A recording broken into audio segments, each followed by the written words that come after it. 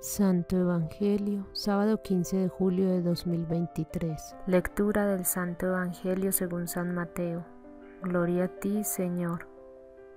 San Mateo, capítulo 10, versículos del 24 al 33. El discípulo no está por encima de su maestro, ni el criado por encima de su amo. Al discípulo le basta ser como su maestro, y al criado como su amo. Si al amo de la casa le han llamado Belcebú, que no dirán de los de la casa. No les tengáis miedo, porque no hay nada tan oculto que no se llegue a descubrir, y nada tan secreto que no se llegue a saber. Lo que os digo en la oscuridad, decidlo a plena luz, y lo que oís al oído, predicadlo sobre las terrazas.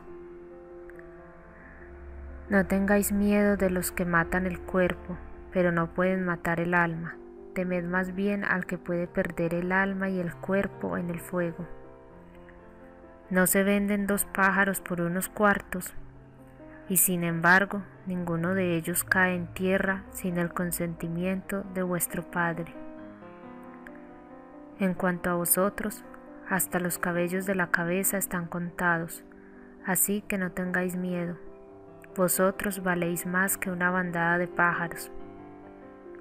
Al que me confiese delante de los hombres, le confesaré también yo delante de mi Padre Celestial. Pero al que me niegue delante de los hombres, yo también lo negaré delante de mi Padre Celestial. Palabra del Señor. Gloria a ti, Señor Jesús. Recuerda, Jesús es el buen pastor. El Señor es mi pastor, nada me falta. En verdes praderas me hace reposar me conduce hacia las aguas del remanso y conforta mi alma.